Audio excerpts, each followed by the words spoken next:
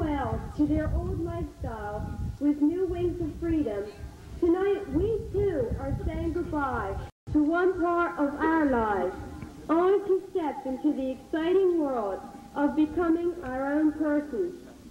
As we entered kindergarten, we began the process of separation from our parents and started the journey towards becoming unique individuals. Like caterpillars who only use three of their eight pairs of legs to walk, we as children only revealed a small portion of our true personality, for it was just beginning to grow and develop. School played an important part in shaping us into useful human beings. Gradually, through many valuable experiences, small elements of our personality began to appear. We began to form our own opinions as we learned to be original and unique. In high school, we learn to focus our values on even deeper things. We learn that the true meaning of friendship is in giving and caring for one another without expecting anything in return. We learn that self-confidence is a matter of having faith in your own talents and abilities so that you can use them for the good of mankind. Through activities, term papers, and homework in general, many of us learn to organize our time, therefore becoming more self-disciplined. These lessons, along with added responsibilities, have helped to prepare us for the serious challenges of adulthood. Tonight, we must picture ourselves as butterflies emerging from the cocoon. Some of us may become widely acclaimed and colorful like butterflies. Others may be become as those in the limelight. Many people have affected the course of human events. History has recognized some of them as great men, but those who have been just as important will never be noticed. Those who have helped a brother in need by saying a kind word or by lending him a hand are molding the nature of mankind. Someone who has lived a selfless life in service to God and to his fellow man has contributed more to the world than all the Einsteins and Edisons who have ever lived. Someone who finds his purpose in life and who strives to be the best he can without seeking the recognition of those around him will contribute far more than anyone who concentrates only on material or technological accomplishments. We hold the power in our hands to affect other human beings greatly influence their lives. It is up to us to choose the direction in which we will fly, the contribution we will make to mankind, and the kind of people that we will become. Our schools, our families, and our friends have tried to prepare us for the roads ahead. We must use this wisdom to direct our new paths of independence. We must continue to learn and to better ourselves, for we are the generation that is building tomorrow.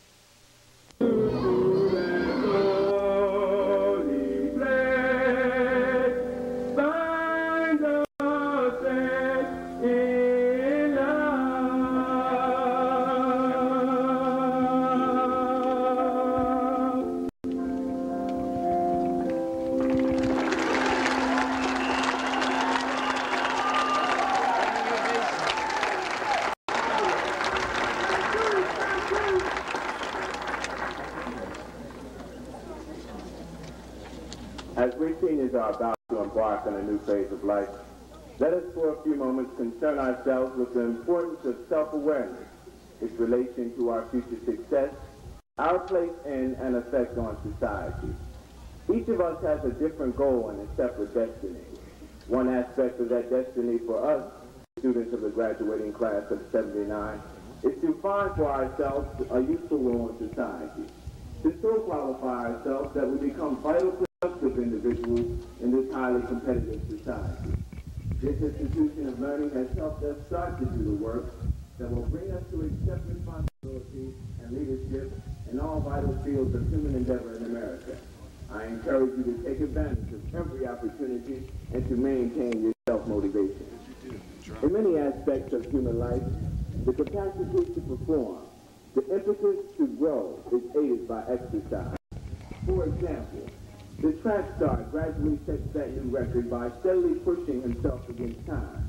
The boxer builds up his resistance to exhaustion by running harder and longer. The student reduces memory loss by increasing his study time. Any capacity that is not utilized in exercise becomes weaker and eventually dysfunctional. If we students develop along certain natural lines, we will eventually arrive at success. But if we ignore the natural pattern of growth in society, we will always miss our mark and be short of success.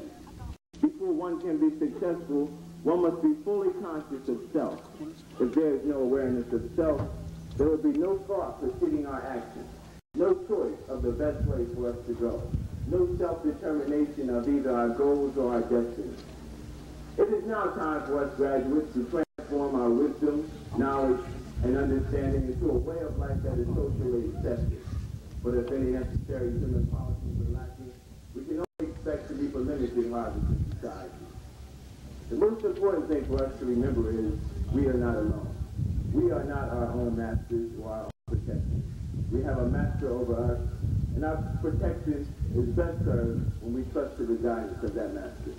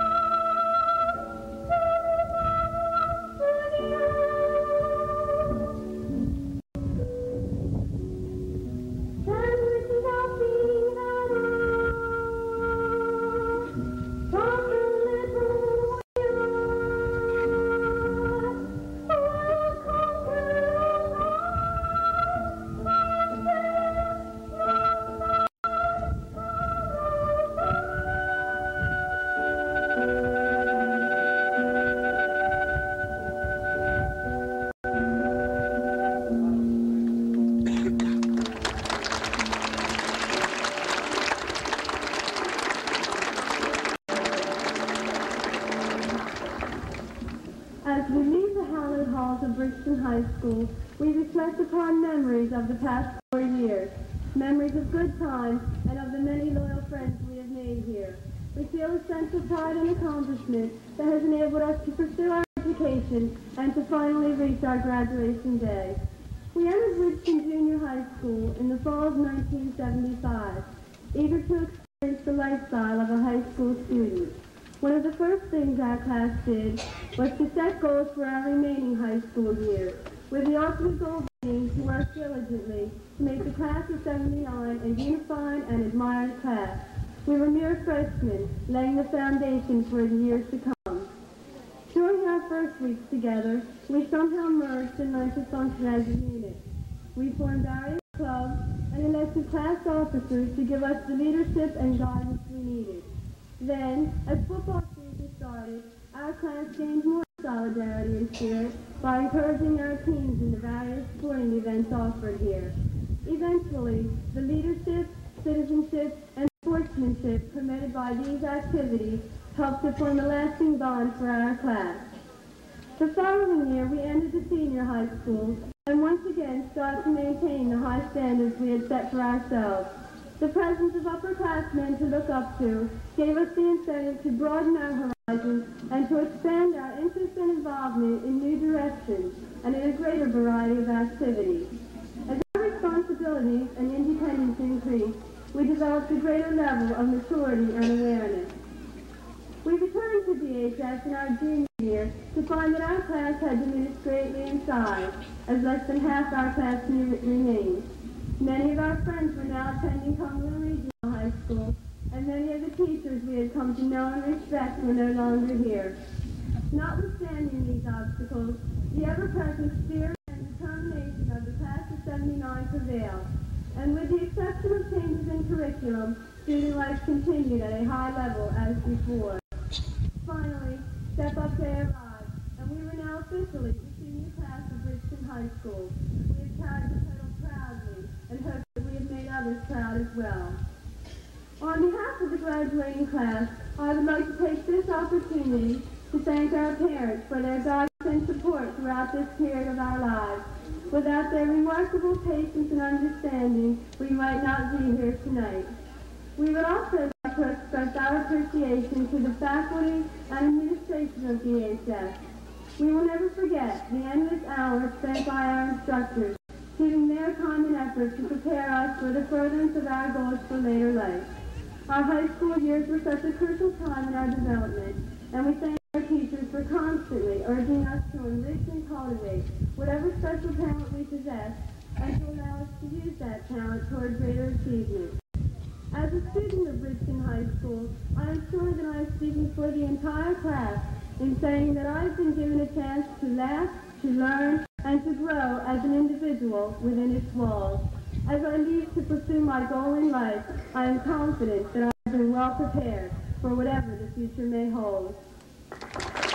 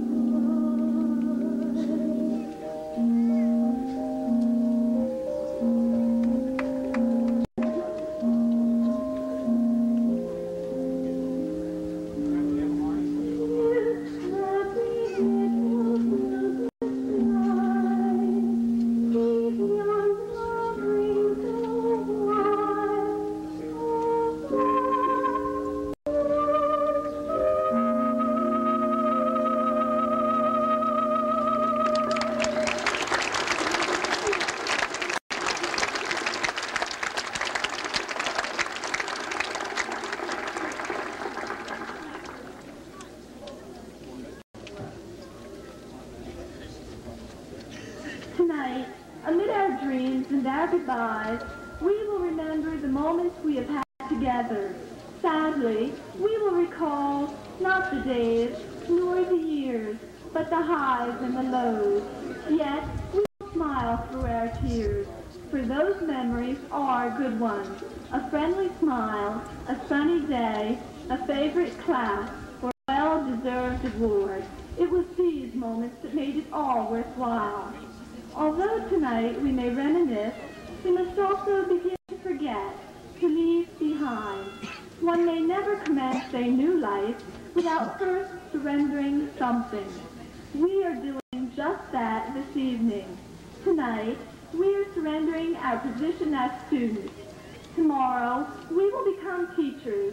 We will teach the world optimism, hope, and the power of dreams. Tomorrow we must begin, but in effect, we are always beginning. Tomorrow will soon be today, and yet it may never come at all. We must live for the moment, for it is those moments which we live as though they were our last that we will remember. No one ever has unlimited time to reflect on his or her past and future. We must begin today. We must forge ahead and experience new sensations, live new moments that we will dream of in times to come. Tomorrow is ours for the taking. We are fast approaching the dawn of an untarnished day that will become whatever we make of it. Tomorrow is our inheritance. It matters not whether we spend it with friends, if we achieve a major career breakthrough, or if we merely reflect upon the path we are about to follow. What does matter is that we use tomorrow to the best of our ability. As we leave this phase of our lives, we must begin to make the most of the future. Tonight, we pause on the verge of this new beginning to savor our last moments together as high school students. It is this, this one moment, that is the culmination, the sum of 13 years of hard work. At times, we thought we would never make it, but we always came through. We passed our tests, played on both winning and losing teams, and said a lot of goodbyes to new friends and teachers. Yet, there were other times too, when we relaxed with our friends in lunch, or when we discovered some new subject that stimulated our interest. All of these are the things that we will recall. Looking back, we find that we don't remember days. We remember moments, the highlights and the despairs of our high school days. And now, to think that those same 13 years will be over in a few moments. Yesterday, we counted the hours, but now we find ourselves thinking, please, just a few more moments. Give us time to enjoy and recognize this feeling. This evening is one that we will hoard in the treasury of our minds. This feeling, this surge of pride and accomplishment will survive. So tonight we will smile and share whatever time, whatever moments we have left. Tonight, though, will never really end. Our comradeship and spirit of achievement will live forever. We will return to this moment again and again. Tomorrow, we will dream of the many moments yet to come. Independence, a career, and a family. We have no time to be sad at our parting. With uplifted faces, we will sing of the happiness in our hearts. Tonight, let us dream. There will be time enough for goodbyes tomorrow. So, that's your bottom dollar that tomorrow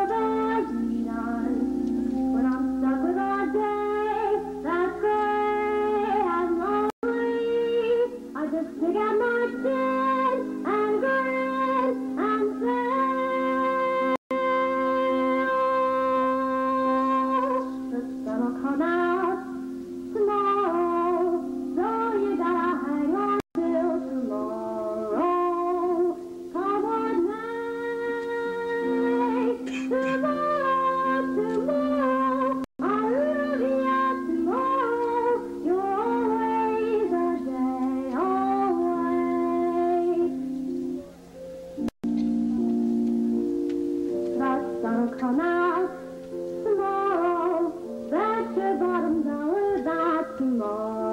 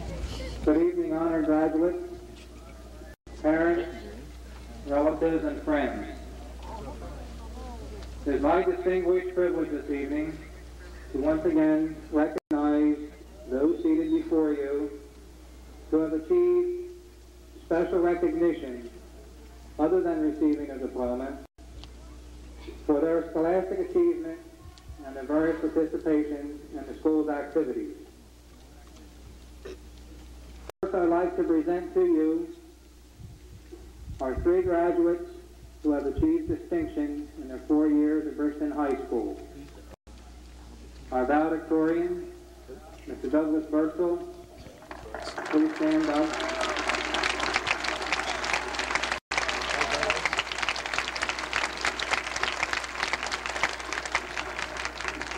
Please remain standing. Our salutatorian, Mr. Greg Winston.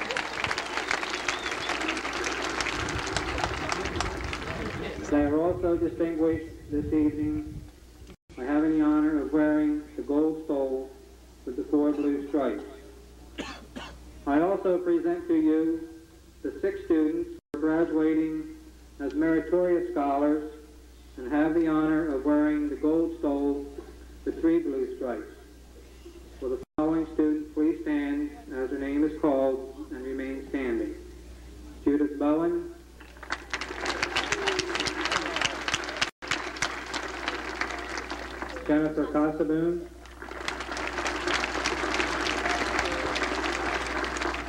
Elvira Gino. Sheila Klein. Kimberly Tatacucci. And Michael Totino.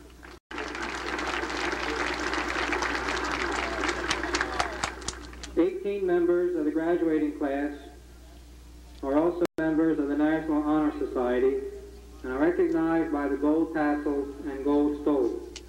For those not already standing, please do so.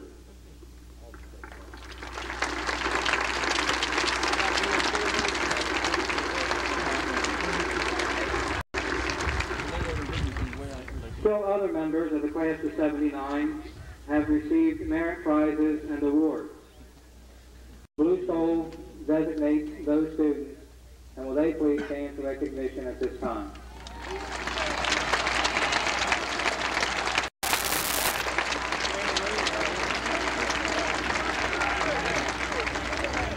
The large group of students standing before you is representative of the class of 1979 for the honor it has brought to Bridgeton High School, to their parents, to their community. The total number of souls awarded for the class is 60 in number. 68 individual awards were received by 48 students. 14 of them received bonds totaling $650. Cash awards totaled $4,710.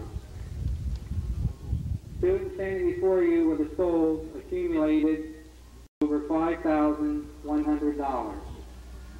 Still others received medals and plaques and other types of awards for their participation. Once again, congratulations to all of you.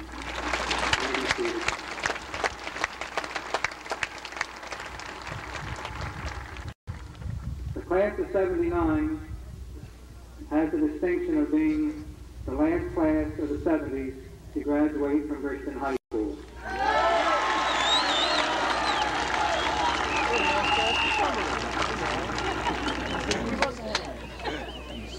247 of them looking anxiously for that moment they will receive their diploma.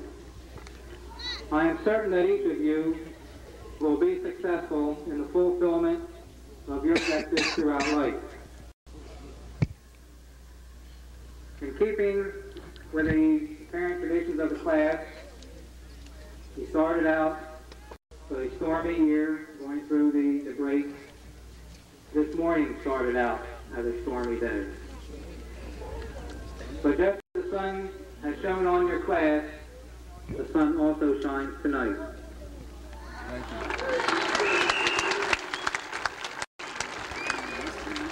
And in keeping with your motto and with the backdrop behind you, I know you'll remember the day, but most of all, you'll remember this moment as you begin your walk on the road of life.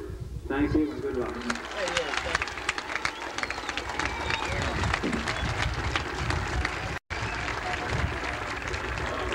Thank you.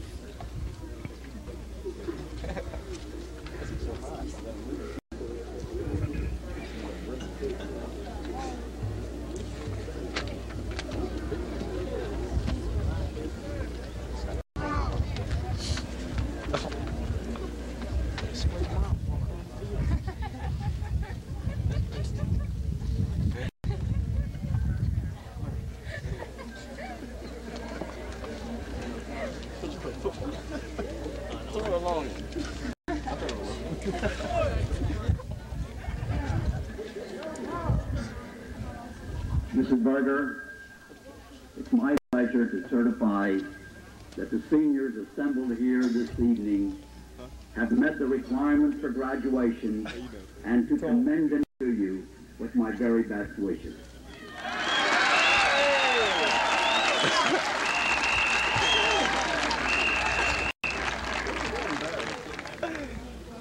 Over the last few days, you've received a lot of cards and wishes for good luck, congratulations, and whatnot.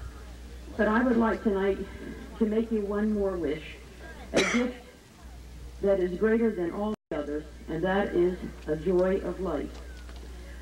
I have here a short poem by an unknown author that expresses words far better than I could.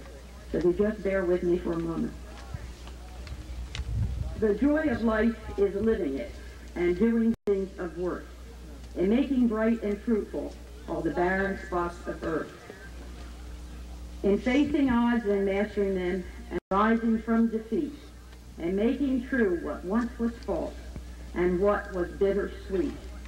For only he knows perfect joy, whose little bit of soil is richer ground than what it was when he began to toil.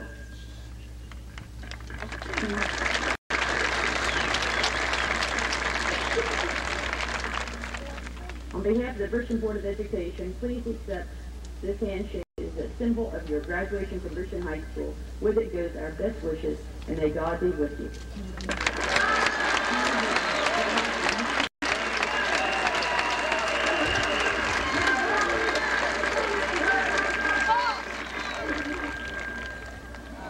On behalf of the class of 1979, I'm very happy to have opportunity to tell Mrs. Berger thank you.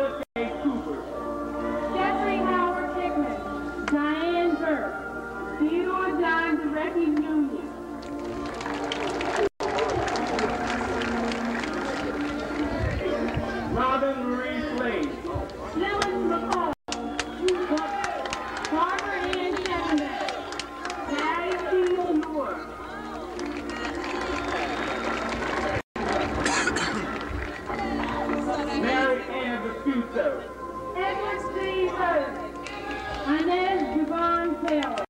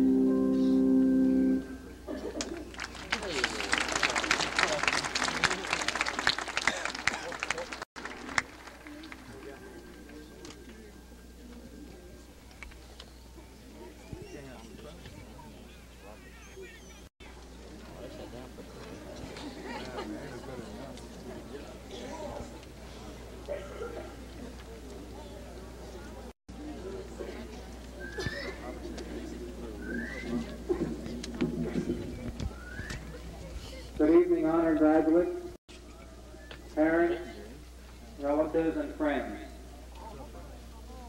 It is my distinguished privilege this evening to once again recognize those seated before you who have achieved special recognition other than receiving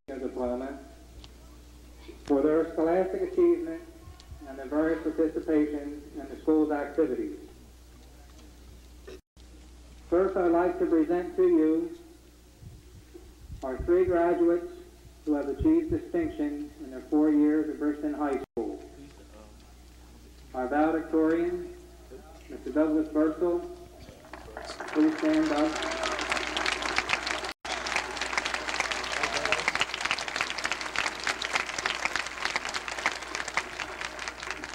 Please remain standing. Our salutatorian, Mr. Greg Winston.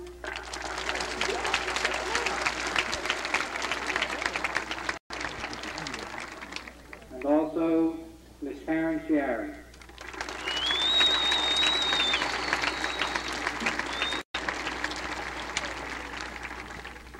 Just remain standing. These students have maintained a straight A average for their entire four years of high school.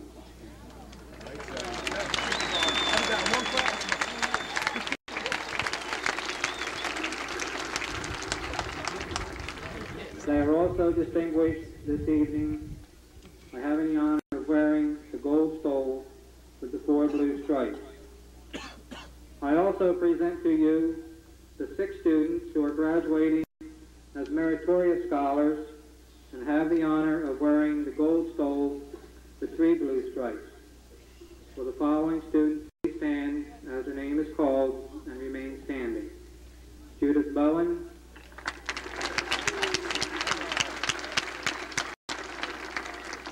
Jennifer Casaboon,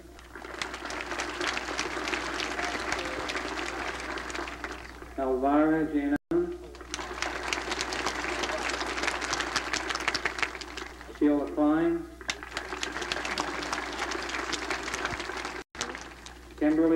Tatacucci, and Michael Totino.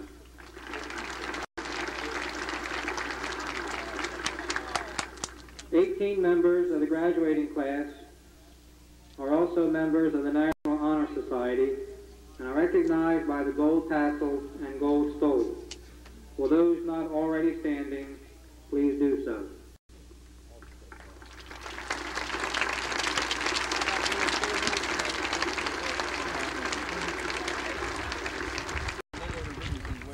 Still other members of the class of 79 have received merit prizes and awards. The Blue Stole designates those students, and will they please stand for recognition at this time?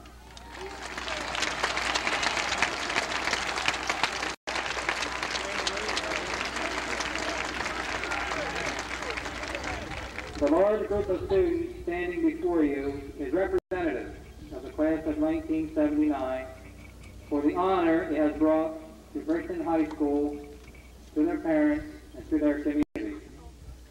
The total number of souls awarded for the class is 60 in number.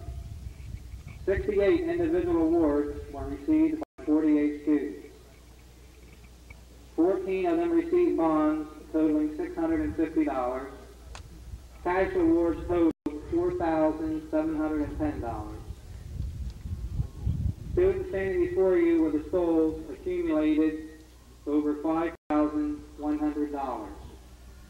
Still others received medals and plaques and other types of awards for their participation. Once again, congratulations to all of you.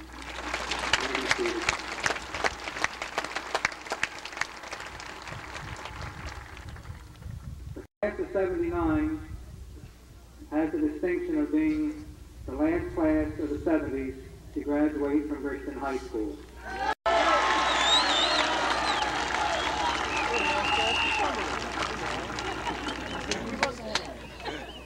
All 247 of them looking anxiously for that moment this evening when they will receive their diploma.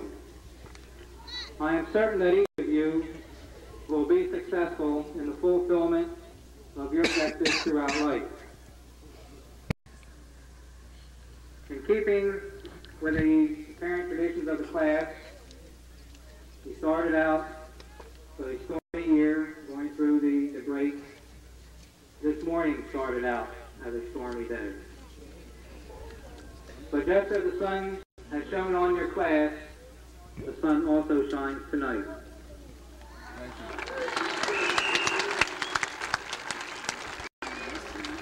And in keeping with your motto and with the backdrop behind you, I know you'll remember the day, but most of all, you'll remember this moment as you begin your walk on the road of life.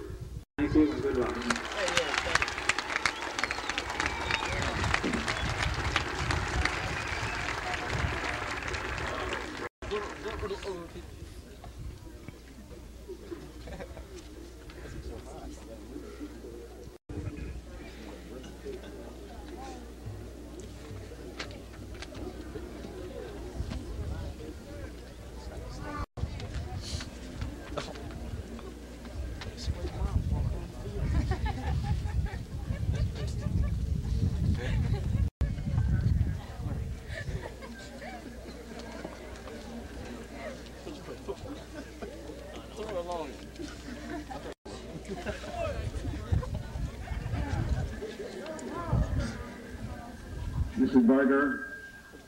It's my pleasure to certify that the seniors assembled here this evening have met the requirements for graduation and to commend them to you with my very best wishes.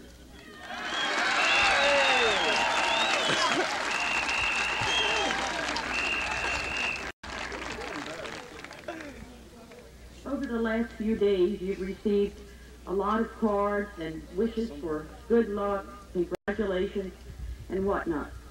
But I would like tonight to make you one more wish, a gift that is greater than all the others, and that is a joy of life.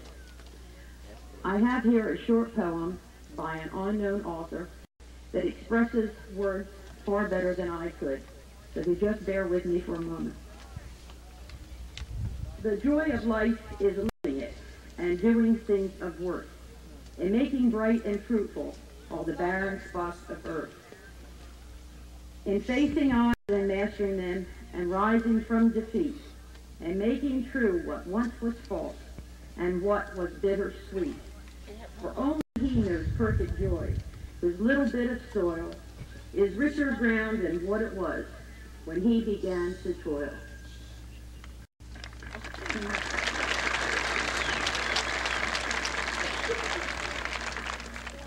On behalf of the Richmond Board of Education, please accept this handshake as a symbol of your graduation from Richmond High School. With it goes our best wishes, and may God be with you.